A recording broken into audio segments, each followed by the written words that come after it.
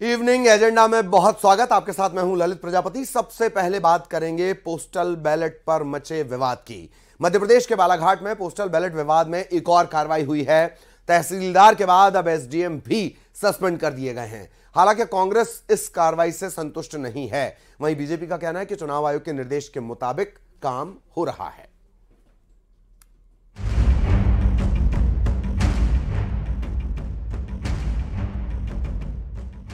बालाघाट डाक मतपत्र video viral होने के मामले में कलेक्टर ने फिर कार्रवाई की। तहसीलदार के बाद एसडीएम पर गाज गिरी है। एसडीएम गोपाल सोनी को सस्पेंड कर दिया गया। एसडीएम की जगह डिप्टी कलेक्टर को निर्वाचन की ज़िम्मेदारी दी गई। उधर कांग्रेस कलेक्टर की कार्यवाही से संतुष्ट नहीं दिखी और कलेक्टर को ही हटाने की मांग कर दी। कार्रवाई क्या हुई है? तो कार्रवाई करने की लीपापोती की गई है चुनाव आयोग के द्वारा? मुझे आश्चर्य बात है जो व्यक्ति मेन जिम्मेदार है, ज़िले का कलेक्टर जिम्मेदार है, उसके बिना चुनाव की प्रक्रिया पत्ता नहीं हिलता है। आप उससे ही कह रहे हैं कि जाँच करो। हमने उनकी शिकायत की कलेक्टर की। कलेक्टर के कहने पर यहाँ पर गलत काम हो रहे हैं। आप ऐसा कार्रवाई करें। उन्होंने जाँच ही उनको दे दी। उनने पहले एक पटवारी को तहसीलदार को सस्पेंड कर दिया। आज सुना है कि उन्होंने एसडीएम को सस्पेंड कर दिया। अरे खुद सस्पेंड किए आएँगे उनको सस्पेंड होना चाहिए।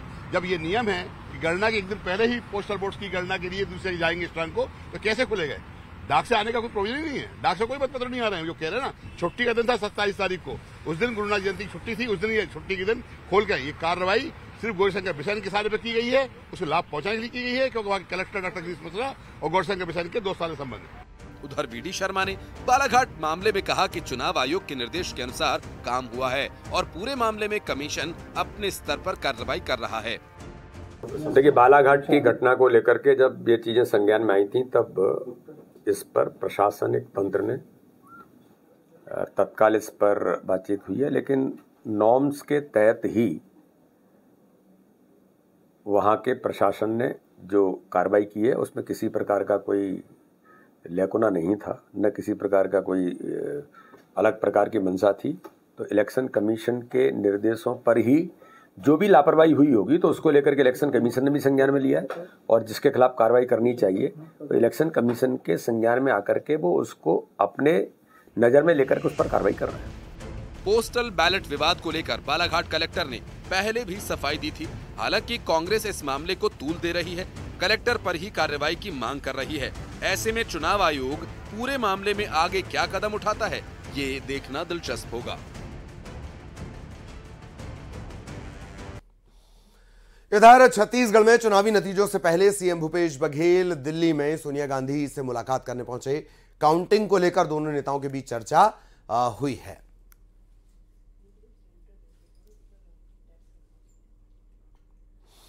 तो काउंटिंग से पहले मुलाकातों का दौर लगातार जारी है और दिल्ली की हलचल बढ़ी हुई है।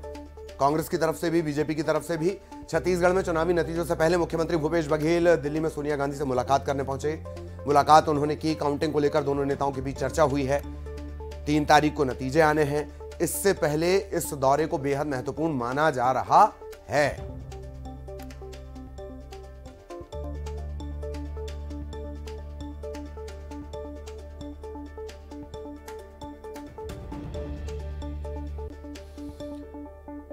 इधर मतगणना से पहले छत्तीसगढ़ में भी बीजेपी एक्टिव है।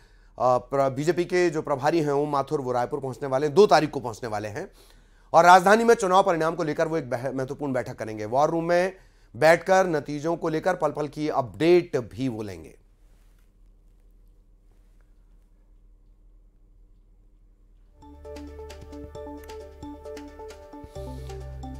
और छत्तीसगढ़ बीजेपी के प्रदेश प्रभारी ओम माथुर ने, छत्तीसगढ़ बीजेपी के प्रभारी ओम माथुर ने प्रदेश में बीजेपी को बहुमत मिलने का दावा किया है। माथुर ने ट्वीट में दावा किया कि हम राजनीतिक पंडितों को चौंकाने वाले हैं। राजस्थान के साथ साथ छत्तीसगढ़ में भी हमारी सरकार बनने जा रही है। तीन दिसंबर को बीजेपी की जीत होगी।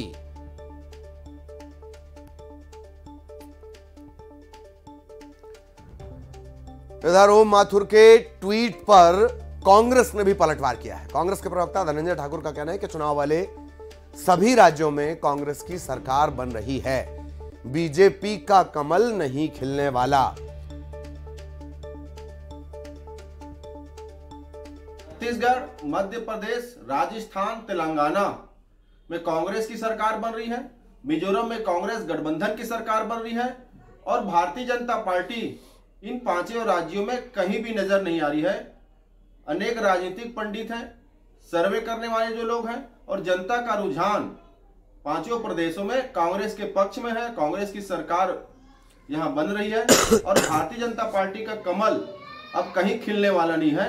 2023 में इन पाँच राज्यों में कांग्रेस जीतेगी और 2024 में केंद्र से भी नरेंद्र मोदी सरकार की विदाई तय है। छत्तीसगढ़ में भारतीय जनता पार्टी की सरकार पूर्ण बहुमत के साथ बनने जा रही है।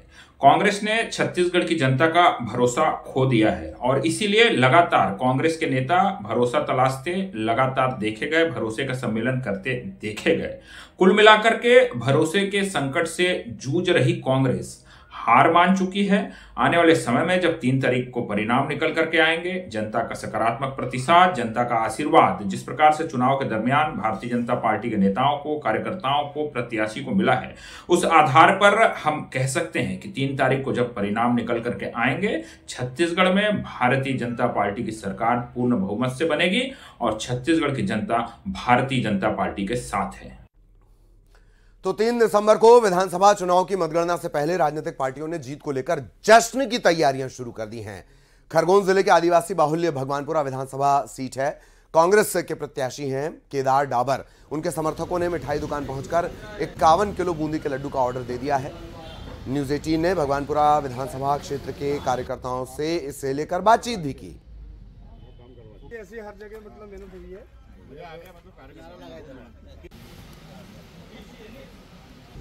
कार्यकर्ताओं ने दिल खोल के काम किया है और पूरा जोश उत्साह के साथ उन्होंने काम किया और उसी का परिणाम जो आने वाला है, वो जीत के उसमें आने वाला है। और लेकिन उसके पहले ही जो है कार्यकर्ताओं ने जो जीत है, उसकी जश्न की तैयारी शुरू कर दी है। खरगोन ज़िले की भगवानपुरा विधानसभा है, जहाँ के कांग्रेस प्रत्याशी केदार डावर उनके समर्थक खुद मिठाई की दुकान पर पहुँचे और यहाँ मिठाई का आर्डर भी उन्होंने दिया है। क्या क्या कहना चाहेंगे? जैसे अभी तो मतगणना बाकी है, उसके पहले ही आपने तैयारी शुरू कर दी है जीत के जश्न की। बिल्कुल, हम जीत को लेकर पूरी तरह से आश्वस्त हैं। पूरे भगवान सभा विधानसभा के कार्यकर्ता ने जिस जोश और उत्साह से चुनाव लड़ा है उस तरह से हम उसी को लेकर हम पूर्ण रूप से आश्वस्त हैं।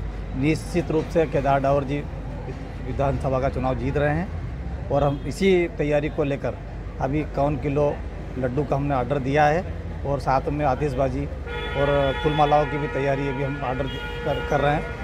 तीन तारीख को चुनाव परिणाम आएँगे, लेकिन उसके पहले ही जो कार्यकर्ता हैं, उनमें इतना आत्मविश्वास है कि उन्होंने जीत के जश्न की पूरी तैयारी शुरू कर दी। यहाँ तक कि मिठाई की दुकान पर लड्डुओं का जो ऑर्डर है, वो भी इक्यावन किलो का भगवानपुरा क्षेत्र के जो केदार डावर उनके कार्यकर्ताओं ने कर दिया है और मिठाई की दुकान संचालक के द्वारा भी अलग से एक्स्ट्रा करीब सवा कुंटल यहाँ लड्डू बनाए जाएँगे। Ashutosh Purohit, News eighteen, Khargone.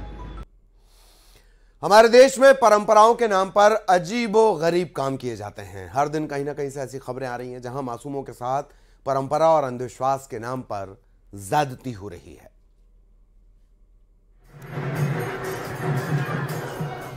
पालकी में बच्चा रो रहा है। इसके माँ बाप बच्चे को पालकी में रखकर पानी में डाल रहे हैं। सोचिए, एक छोटी सी गलती और क्या कुछ भुगतना पड़ सकता है? दरअसल ये तस्वीरें बैतूल के घंसदेही तहसील के पूर्णा मेले की है, जहाँ कार्तिक पूर्णिमा के दिन से ताप्ती नदी के तट पर मेले का आयोजन किया जाता है। मान्यता है कि जिसे संतान नहीं होता, वो इस मेले में आकर संतान प्राप्ति की मन्नतें मांगते हैं। और जब एक, दो साल या फिर कभी भी पुत्र प्राप्ति होता है तो यहाँ आकर एक परंपरा निभाते हैं। संतान के जन्म के बाद पालने में लिटाकर नदी की धारा में छोड़ा जाता है और नदी का दूषित पानी भी प्रसाद कहकर पिलाया जाता है। संतान की चाहत किसे नहीं होती। घर में जब भी बच्चों की किलकारियाँ गूंजती है तो रौनक बढ़ जाती है। हमारे देश में लोग संतान प्राप्ति के लिए मंदिरों में मन्नतें भी मांगते हैं और मन्नतें पूरी होने पर तरह तरह के काम करते हैं। अब इसे विश्वास कहें या फिर अंधविश्वास, लेकिन इस तरह की परंपराएँ कहीं ना कहीं बच्चे की ज़िंदगी के साथ खिलवाड़ कर रही है। न्यूज़ एटीन कभी भी किसी के आस्था पर सवाल नहीं खड़े करता है। लेकिन जो परंपरा निभाई जा रही है, इससे अगर किसी तरह नुकसान होता है तो फिर जिम्मेदार कौन होगा? क्या आस्था के नाम पर यह परंपरा सही है?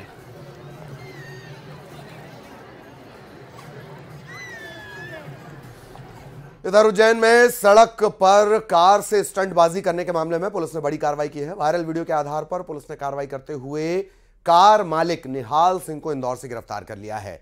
हालाँकि जो वायरल वीडियो है, उसमें कार मालिक मौजूद नहीं था। फ़िलहाल कार को जब्त किया गया है और जो लड़के वायरल वीडियो में दिखाई दे रहे हैं, वो इंदौर में काम करते हैं। ये सभी उज्जैन आए थे।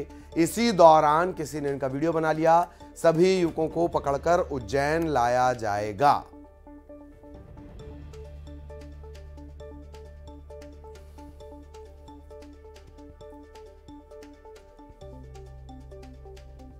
का कार्य करते हैं और जो वर्तमान मालिक है, उसका भाई था।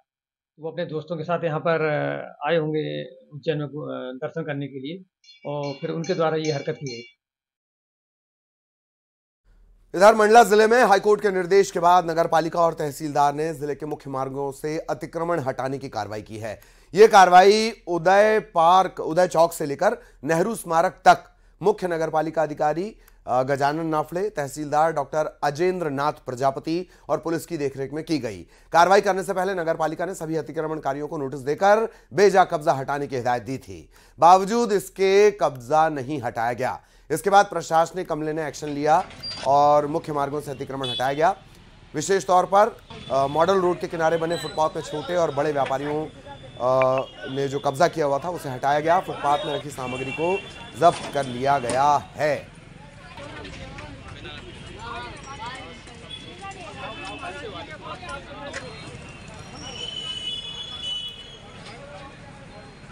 उच्च न्यायालय के आदेश थे और जो रोड पे हमेशा जाम लगता है और चिल्लर व्यापारी जो बीचों बीच में रोड पे लगाते हैं, उससे आने, आवागमन में भी तकलीफ़ होती है, इसलिए अतिक्रमण भी हटाना था और माननीय उच्च न्यायालय द्वारा भी बताया गया था कि ये रोड से पूरा अतिक्रमण हटाया जाया करके रोड खाली किया जाए। इसी के अंतर्गत आज सुबह से ही तहसीलदार साहब, मैं और पुलिस प्रशासन की पूरी टीम ने ये कार्रवाई कर रही है।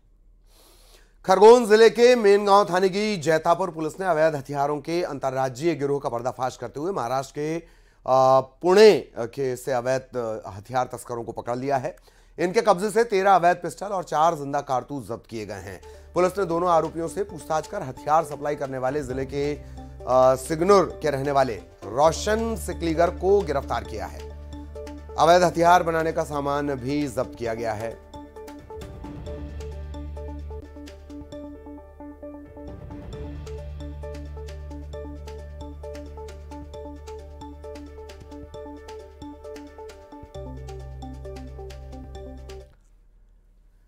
इधर जबलपुर के एक सिक्योरिटी गार्ड की जिद चर्चा का विषय बन गई है। 25 साल से उनकी कोशिश ने आखिरकार रंग दिखाया और 55 साल की उम्र में उन्होंने गणित से, मैथ से एमएससी की पढ़ाई पूरी कर ली।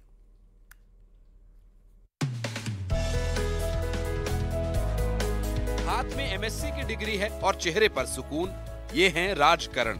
पेशे से सिक्योरिटी गार्ड हैं, लेकिन पढ़ने का शौक ऐसा कि इन्होंने जिद ही ठान ली। राजकरण को पढ़ने की इच्छा थी, लेकिन उनकी आर्थिक स्थिति आड़े आ रही थी। लिहाजा उन्होंने पढ़ाई छोड़ सिक्योरिटी गार्ड की नौकरी कर ली। बाद में वे गणित से एमएससी करने का ख्याल मन में पाल बैठे। उन्नीस सौ छियानबे में ही रानी दुर्गावती विश्वविद्यालय में उन्होंने आवेदन किया। उन्नीस सौ सतानवे में परीक्षा दी, जिसमें वे पास नहीं हो पाए। सर एमएससी में छियानबे में एमए करने के बाद एक आवेदन बनाया कि मुझे डायरेक्ट एमएससी करना है। ग्रेजुएशन के थ्रू। तो वहाँ पे नियम देखा राम सुमन पांडे कुल कुल सचिव थे, उनने फटाक से देख के बताया, बोले हाँ कोई भी कर सकता।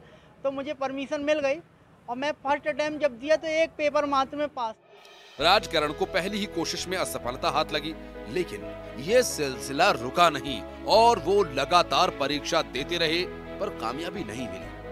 कोरोना काल के दौरान साल 2020 में उन्होंने एमएससी प्रथम वर्ष की परीक्षा दी और अगले साल 2021 में एमएससी द्वितीय वर्ष की परीक्षा पूरी की। तो मैंने 25 बार पूरे दिए, मगर मेरे को 20-20 में नंबर आ गए। प्रीवियस पास हो गए जो कि प्रीवियस सबसे कठिन होता है, उसमें पूरे एडिशनल सब्जेक्ट रहते हैं। अमेरिका, लंदन के कॉलेजों में जो किताबें चलती, वही लग रही यहाँ पे। इसलिए मैं प्रीवियस तो तेईस बार में पास हुआ हूँ, पर फाइनल मैंने वन सेटिंग में ही निकाल ली। और फाइनल के जो सब्जेक्ट थे मेरे, पाँचों पाँचों इंजीनियरिंग ब्रांच के चुने हमने। कोई मैकेनिकल का, कोई सिविल का, कोई इलेक्ट्रिकल का, ऐसे पाँच सब्जेक्ट चुने हमने और हम बीस, इक्कीस में फाइनल क्लियर हो गए हैं इक्यावन परसेंट मन में अगर लगन हो तो हर सपना साकार हो सकता है। न ही आर्थिक स्थिति आड़े आती है, न ही असफलता। कम से कम राजकरण ने तो इस बात को साबित ही कर दिया।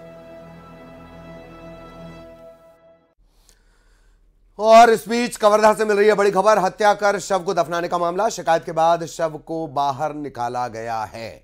मृतक की पत्नी ने इस बात को लेकर शिकायत की थी और आखिरकार जो शव दफना दिया गया था, उसे निकाला गया। पड़ताल आगे की जाएगी। वैज्ञानिक साक्ष्य, साइंटिफिक एविडेंस अब इस मामले में जुटाए जाएँगे। हत्या कर शव को दफनाने का यह पूरा मामला है। शव को बाहर निकाल लिया गया है। मृतक की पत्नी ने इस बात की शिकायत की थी।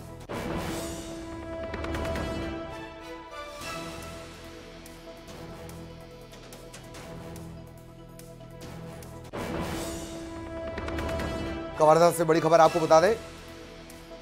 हत्या कर शव को दफनाने का ये पूरा मामला है। इसके बाद पत्नी ने इस मामले की शिकायत की और शव को बाहर निकाला गया, फिर से पड़ताल की जाएगी।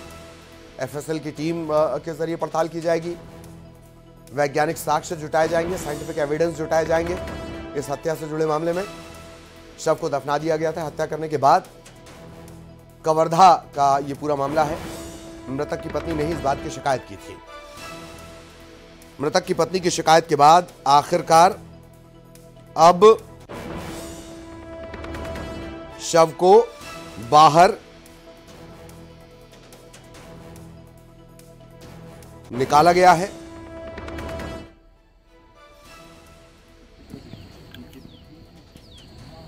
कवर्धा का यह पूरा मामला, जहाँ हत्या के बाद शव को दफना दिया गया था। पत्नी ने इस बात की शिकायत की और अब उस शव को बाहर निकाला गया है। सहयोगी मनीष उस वक्त हमारे साथ जुड़े हुए हैं। मनीष, बहुत पेचीदा ये घटनाक्रम है। बताइए जरा इसके बारे में, क्या अपडेट है? हाँ बिल्कुल, ललित, जिस तरह से जानकारी मिल पाई है उसके अनुसार जो पत्नी और उसके जो बच्चे हैं, वो मृतक से काफ़ी परेशान थे। आए दिन शराब पीकर लड़ाई झगड़ा करता था, मारपीट करता था, जिससे वो काफ़ी परेशान थे। इसी के चलते उनके द्वारा जो है छब्बीस नवंबर को उसके डंडे से पिटाई कर हत्या कर दिया गया था और शव को जो है खेत में फेंक दिए थे। लेकिन गाँव वालों को गिरकर मौत होने की जानकारी बताकर उसके शव को दफना भी दिया गया था। उसके बाद जब जानकारी हुई पुलिस को इसकी सूचना दी गई कि हत्या कर उसके शव को दफनाया गया और साक्ष्य छुपाने का प्रयास जो है, उनकी पत्नी और उसके बेटे ने ही किया है तो पुलिस ने दोबारा उस शव को निकाला है, पीएम के लिए भेजा है और पूरे मामले की जो है जाँच पड़ताल की जा रही है, ललित। चलिए, बहुत बहुत धन्यवाद आपका इस तमाम जानकारी के लिए। खबर इंदौर के कमला नेहरू प्राणी संग्रहालय से, जहाँ जानवरों को ठंड से बचाने के लिए खास अरेंजमेंट किए गए हैं। वन्य जीवों के पिंजरे में एनक्लोजर बाड़ों में वुडन बॉक्स लगाया गया है, घास, कंबल, जाली बिछा दी गई है। ठंड से बचने के लिए वन्य जीवों के कमरों में छोटे बल्ब से लेकर हेलोजन लाइट तक लगाए जा रहे हैं। बताया जा रहा है कि चिड़ियाघर में मौसम के साथ साथ वाइल्ड लाइफ एनिमल्स को देखने के लिए भीड़ भी आ, उमड़ रही है। पर्यटकों ने आ, सारे रिकॉर्ड तोड़ दिए हैं। यही वजह है कि इनके लिए खास व्यवस्था की जा रही है।